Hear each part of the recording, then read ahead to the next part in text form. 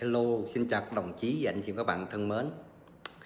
Hôm nay là Min tiếp tục live stream cho anh chị các bạn thấy cái cuộc sống ở quê nhà và đời sống của người dân Việt Nam như thế nào. Các bạn thấy những cái quán xá những cái cửa tiệm Việt Nam bây giờ người dân Việt Nam người ta dân trí càng lúc nó càng cao. Người ta làm cái gì người ta cũng phải ý thức. Ừ. Từ cái nhà vệ sinh cái chỗ bán buôn đó nó cũng rất là sạch sẽ. Tôi nói chuyện các bạn tôi đi từ mọi ngõ ngách để tôi giới thiệu với anh chị các bạn với bà con kiều bào thấy gì cái quê hương của mình. Đừng nghĩ là ở Việt Nam người dân Việt Nam cái gì cũng dơ bẩn cái gì cũng thế này thế nọ. Chỉ có nước ngoài mới là sạch sẽ thôi. Chưa chắc đâu nhá. Tôi nói với anh chị các bạn biết chưa chắc. Những cái nhà hàng những cái chợ những cái cửa tiệm của, của bên Mỹ chưa chắc gì bằng những cái cửa hàng những cái cửa hàng những cái nơi mà bán buôn ở Việt Nam như thế này đâu nha anh chị các bạn. Rất là lịch sự rất là sạch sẽ tôi nói anh chị các bạn, không phải là tôi chê Mỹ. Ở Mỹ, nó cũng tùy thôi. Tôi nói mà đi vào những cái nhà hàng tàu, hay những cái nhà hàng mà ờ, đơn sơ, chưa chắc mà vào nó hôm ngào ngạt như thế này, người ta làm rất là sạch sẽ, tiện nghi và nó văn minh. Có nhiều khi mấy ông, mấy bà, những người mà chống phá đất nước xuyên tạc cứ lên mạng, cứ là nói là Việt Nam thế này nọ tôi nói là đây là mô hình dân sự thôi. Đây là một cái cửa một cái nơi mà để người người ta đi đến người, người ta vẽ lao người ta ờ, sau những ngày làm gì sau những giờ làm việc mệt nhọc một cái quán cà phê như thế này anh chị các bạn thấy không? Nó vừa lãng mạn nó vừa uh, thư giãn nó làm cho cuộc sống của người ta bớt đi tuyệt vời. Bởi vì tôi nói đừng có nghe lời mấy cái thằng chống cộng cực đoan ô hợp ở bên Mỹ. Nhất cả đám ở bên Mỹ. Cái đám chống cộng cực đoan ô hợp Benny Trương rồi tụi phá hoại đất nước. Ừ, ở bên đó. Toàn là nó xạo không à. Các bạn thấy ừ, trong khi đó ở quê nhà, đất nước đang đổi mới, phát triển, người dân ăn nên làm ra. Các bạn có biết cái quán này rất là dễ thương nhiều khi làm việc mệt nhọc. Thư giãn, người ta đến đây, người ta ngồi. Những cái trái cây, nước ăn, nước uống, đồ ăn đủ, rất là ngon, mà họ vệ sinh nữa. Các bạn thấy tuyệt vời không? Thành ra tôi giới thiệu để bà con kiều bào thấy rằng ở quê hương đang phát triển và đổi mới từng ngày và từng giờ. Chúng ta hãy cùng nhau xây dựng đất nước ngày một phú cường và thịnh vượng đập tan những cái âm mưu, những cái luận điệu xuyên tạc của các thế lực thù địch, của những thành phần chống phá đất nước, cũng như mấy cái đám hiện nay trong nước nó có cái đám dân chủ cụi. Và gần đây cũng có cái đám gọi là ờ, bọn bọn nhà tu nó đội lớp tôn giáo, nó xuống đường, nó xuyên tạc, nó hô hào thế này thế nọ. Tôi nói, bà con hãy hãy cùng cùng nhau mà nắm tay nhau, xây dựng đất nước cùng với những người lãnh đạo. Đất nước mà họ đang lái cái con thuyền vận mệnh đất nước để phát triển từng ngày, từng giờ, để mình có cái cuộc sống tốt hơn. Chứ ngồi đó mà cứ nghe mấy cái đám dân chủ cụi mấy cái đám chống cộng cực đoan ô hợp, nó lên đó, nó cho ăn cái bánh dẻ, nó vẽ ra cho bự, cho to ngồi đó cứ chê, ngồi đó cứ ừ, than vãn, cứ khóc lóc. Các bạn thấy ở quê nhà, người ta ăn nên làm ra, bà con kiều bào thì nắm tay nhau về với quê hương. Đấy. cùng nhau chung vui đất nước đổi mới. Anh chị em các bạn thấy, thành phố Bảo Lộc này nó đã bắt đầu vươn lên trong tương lai là bảo, cái thành phố Bảo Lộc này nó sẽ là một cái một cái Đà Lạt thứ hai đó anh chị, chuyển hiện nay đó. Bảo Lộc sẽ là một cái thành phố ờ, Đà Lạt thứ hai của cái là cao nguyên, vùng cao nguyên. Này. cho nên hiện nay hạ tầng cơ sở đang đang đang phát triển rất là tốt, đang phát triển rất là tuyệt vời. Các bạn thấy nhà nước đang sửa lại để giảm bớt những cái sự ủng tắc những xe tải đi trong cái uh, nội thành. Thì các bạn thấy những cái vành đai quốc lộ 20 mà Lợi Minh đang ờ, livestream trong những ngày qua đó các bạn thấy cái vùng đất mà mé sau đó lúc trước là không có giá trị gì kinh tế cao. Bây giờ những cái vùng đất đó bỗng nhiên những cái người nông dân họ làm chủ đất nông nghiệp. Bữa nay là người nào cũng cầm tiền tỷ trong tay hết các bạn thấy không? Người dân luôn luôn được ưu đãi được nhà nước tạo cơ hội để phát triển để làm ăn để tấn tới phấn, phấn đấu vươn lên. Các bạn thấy đẹp không? Tuyệt vời ha. Tôi nói chỉ các bạn thời buổi bây giờ mà cứ ngồi đó trong ngóng đi qua Mỹ đi qua Tây đi qua Tàu qua này kia qua mấy cái xứ đó bây giờ chỉ cài cài cài cài trong khi ở quê hương đang đổi mới, người dân đang lo làm ăn, phát triển. Tuyệt vời lắm, tôi nói. Tôi thích sống cái gì nó thực tế và thực dụng, chứ không phải lên mạng ngồi đó cứ ảo. Nghe mấy cái tụi dân chủ cụi rồi mấy cái đám chống cộng cực đoan ô hợp bên mỹ. Rồi bây giờ gọi là lại có cái đám mà gọi là núp bóng tôn giáo, như bọn họp nam thục phong nữa. Mấy đám ở tào lao mình làm ô nhục đạo giáo. Tôn giáo là để giúp con người sống thiện ăn hiền ở lành. Chứ không phải xuống đó suối người ta làm những chuyện tào lao mà tôi thấy lắc đầu. Bó tay. Mà không biết là sao có những người đi tin mấy cái chuyện như vậy. Lại mù quáng như vậy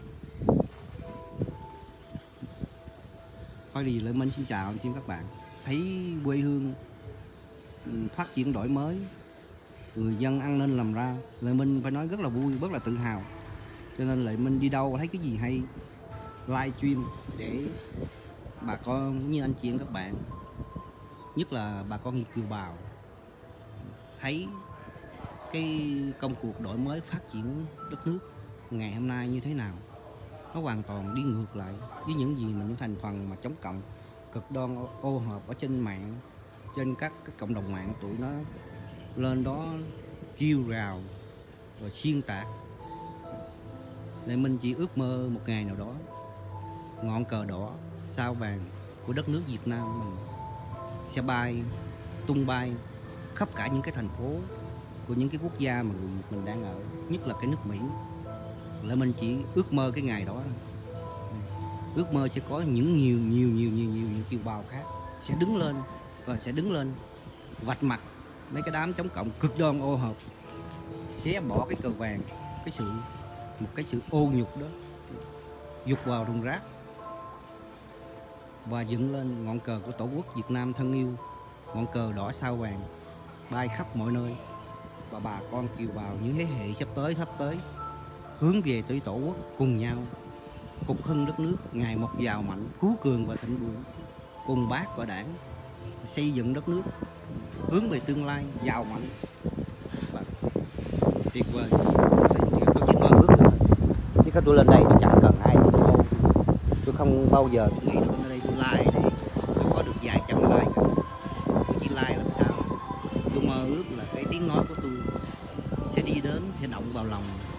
những con người. Họ sống trong u mê những con người họ chưa có tiếp cận được những cái thông tin truyền thông nó thực tế và thực dụng. Tôi chỉ mơ ước vậy thôi. Cái sự mơ ước của tôi rất là nhỏ bé. Chứ tôi không có phải như một số người lên trên này nghĩ rằng tôi tạo nét tạo con khí trên này. Thì chẳng cần. Tôi nói anh chị các bạn nhiều khi tôi nói tôi làm một số anh chị các bạn buồn lòng. Không phải tôi tự tự cao tự đại gì tôi không có cần nổi tiếng đâu. Nếu mà tôi nổi tiếng rồi tôi lập kênh, lập này, lập kia rồi. Tôi lên đây xưng hùng, xưng bá rồi. Để được cái gì? Làm cái đó để được cái gì? Trong khi đó cuộc sống của tôi ở ngoài đời. Tôi ăn nên làm ra, bây giờ tôi chỉ có hưởng thụ thôi. Bây giờ tôi chỉ đi chơi. Cái chỗ này tôi quẹt một chút, quẹt một chút. Tôi nói quẹt đây là gì? Tôi đi làm ăn. Tôi về Việt Nam tôi cũng đi làm ăn. Tôi tạo công ăn việc làm cho những người mà họ đang có những cái khó khăn trong cuộc sống. 10 năm nay tôi nói chuyện các bạn biết tôi tạo được một số người họ có được đời sống, công ăn, việc làm. Tôi nói là nhà cửa họ cất lên, ổn định. Chưa có người nào mà làm việc cho tôi mà đi ra mà vác cái đích không mà đi. Về, họ lên, họ sống, họ làm việc cho tôi, các bạn biết. Về, người nào cũng có nhà, có cửa, có đời sống ổn định. Đó là cái niềm vui và hạnh phúc của tôi còn lên đây để tôi tìm được cái sự ảo vọng để được người này người kia tung hô hay là để mua chuộc người này người nọ, thao túng người này người kia, dùng đồng đô la, xin lỗi, đồng tiền tôi làm bằng mồ hôi nước mắt của tôi. Cho nên tôi phải sử dụng nó đúng. Tôi không có cần phải thao túng ai cả. Tôi không cần phải hội hè với ai cả. Tất cả những anh em nào hay hội nào đi đúng theo đường hướng chính sách của đảng và nhà nước, tôi ủng hộ. Như hiện nay nhóm ờ, D3Q là một cái nhóm tôi thấy rất là tuyệt vời. Nhiều bạn trẻ, trong đó có anh bằng là người lớn ờ, là những người ờ, dìu dắt các em nhỏ, các em đang tìm hiểu về chính trị, dìu dắt các em để đi đúng một cái phương hướng, đúng theo cái chính sách của đảng và nhà nước. Để cùng nhau xây dựng đất nước tốt hơn và đập tan những cái luận điệu xuyên tạc. Chỉ có thế thôi anh chị các bạn. Lời mình này sống đơn giản giản dị đó đừng có nghĩ là à, tôi đi ra nước ngoài rồi à, có được đồng đô la là ngon lắm. Tôi không nghĩ là vậy. Các bạn biết đồng tiền của tôi tôi làm. Cái giá trị của tôi tôi nói anh chị các bạn bây giờ một ngàn đồng rớt xuống đất Việt Nam rồi nhá tôi vẫn lụm đấy. Ở bên Mỹ một xu tôi nói lúc anh chị các bạn tôi nói mà tôi chưa bao giờ tôi thề với ai tôi nói mà tôi không bao giờ thích thề đâu nha. Một xu một xu các bạn nghĩ đi, một trăm xu mới là anh đồng gì? Tôi đi bên Mỹ, tôi không nói dốc đâu. Một xu rớt xuống mà tôi còn thấy tôi lụm tôi không lợi tại vì mình lụm lên, mình thấy còn rất là nhiều người khác người ta còn khổ còn khổ hơn mình nữa. Mình phải lụm lên. Mình lụm lên. Tiền mà. Chứ đâu phải mà sách ờ, đi đi về Việt Nam rồi thao túng này, thao túng cái kia. Tào lao tôi không phải giống như cái đám mà mà mà mà Việt kiều mà nổ rồi cái thành phần mà lên mạng rồi thao túng dùng đồng tiền để mua chuột người này để mua chuột người kia để mua lòng người nọ. No no no no, no. các bạn các bạn nghĩ nghĩ nghĩ sai. Có thể là các bạn nghĩ thằng lợi minh này như vậy tôi không cần đâu. Tôi nói cho các bạn biết. Thành ra nếu mà các bạn buồn tôi tôi chịu con người tôi nghĩ sao tôi nói vậy. Tôi nói sai thì tôi xin lỗi chỉ vậy thôi.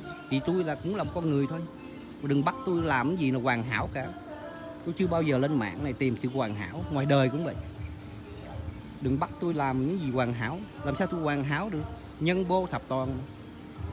Có thì lợi minh? Chào anh chị em các bạn. Đây là quán đôi dép anh chị em các bạn. Họ xây cái hình đôi dép. Đấy, cái hồ có cái đôi dép rất là đẹp. Ừ. cái hồ có cái đôi dép cho nên quán này gọi là quán đôi dép. Cái quán này cũng khá nổi tiếng từ ngày khai trương đến bây giờ tôi thấy là họ họ họ họ tân trang càng lúc càng rất là đẹp. Chiều xuống chiều đông người lắm. Các bạn chiều các chiều người ta đi vô đây, người ta thư giãn, ta ngồi uống cà phê, uống nước, trò chuyện. Họ dẫn con cái họ vào đây, có những cái chỗ chơi. Rất là vui. Tôi xin chào anh chị các bạn nha. Chúc anh chị các bạn gặp nhiều may mắn. Bye bye bye bye.